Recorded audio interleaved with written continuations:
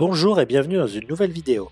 Nous allons voir une fonctionnalité inaugurée dans la version 3.0 de MeditLink, l'enregistrement des mouvements de la mâchoire.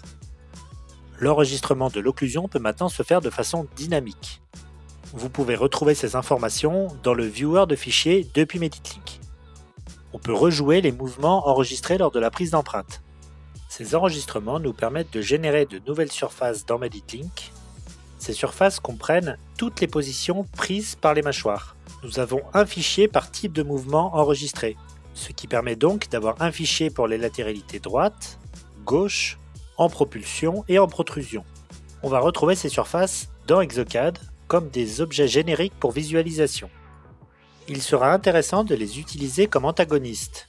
Pour ce faire, passez en mode expert, faites un clic droit sur le fichier concerné, puis sélectionnez convertir les objets de visualisation en antagonistes.